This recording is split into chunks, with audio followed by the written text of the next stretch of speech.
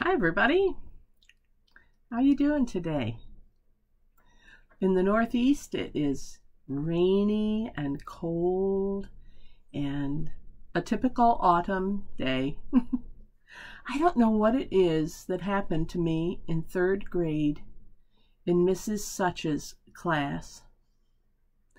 But ever since then I have loved cold, rainy, slash snowy days. I don't like being outside. I'm not an outside winter sports gal, but I love those days. I feel so safe and sitting inside. Maybe it was reading class because the thought of being inside on a day like this and just reading or doing seat work, as we would call it when I was teaching, um, something where I'm sedentary and I'm with the computer or I'm reading or I'm writing or something uh, on a day like this feels very comforting to me. Does it to you? So, when I opened my meditations this morning and began to read and meditate, um, I almost went with one by a different group, but I'm back to uh, Daily Word with Unity because it just I hope it speaks to you the way it did to me when I first read it. So I'm going to read and comment on it. The, uh, the title, the topic for today is Inner Peace. And it says, Through God within, I create waves of peace. Waves of peace, like there's a wave generator. You know, we've seen those in theme parks or whatever. Just keep generating those calming waves of peace. Here's what it says The energy I carry inside affects the world around me.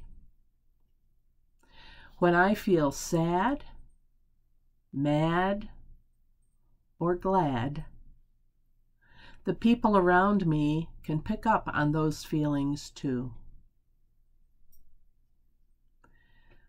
When I allow myself to open to the presence of God within and fully process my thoughts and feelings. The result is deep peace that radiates outward, contributing to the energy of genuine healing everywhere. I find time today to be still. Turning within, I become aware of any tension I may be holding in my body, which can give me insight about my emotions.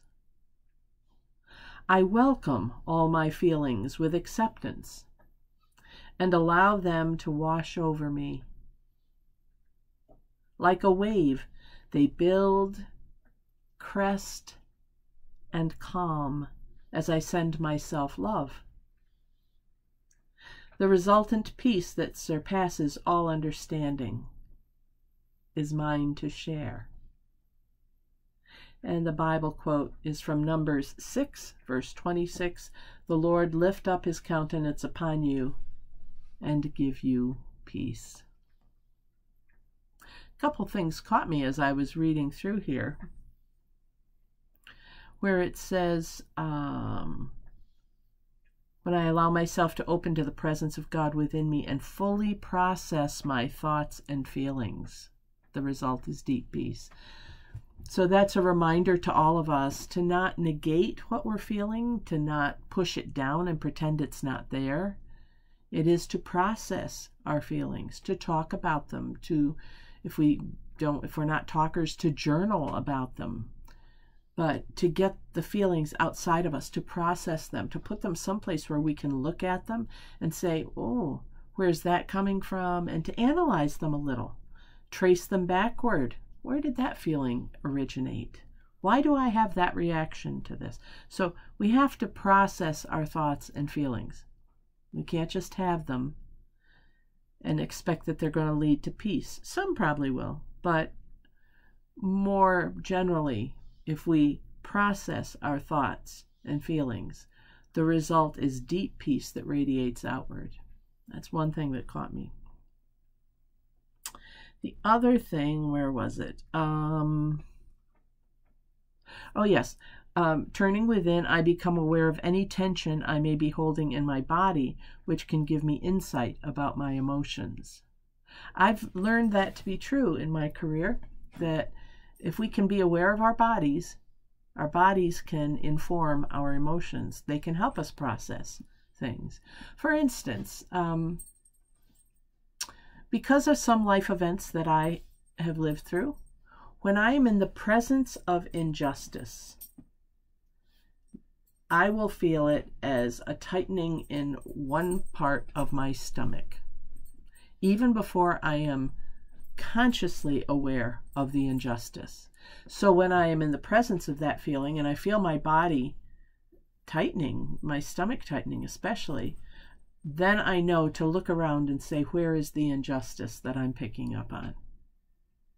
I'm sure some of you do that about uh, different things too.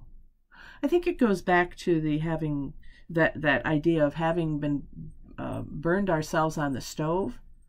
Whenever we walk by a hot stove, you know, it our body is sensitive to it in that area. And um, I think because of different things that we've been through, our bodies remain sensitive to those kinds of things. So, what we have to do is develop the scanning technique that allows us to constantly or frequently be scanning our bodies during the day to say, what am I reacting to? Where's that coming from?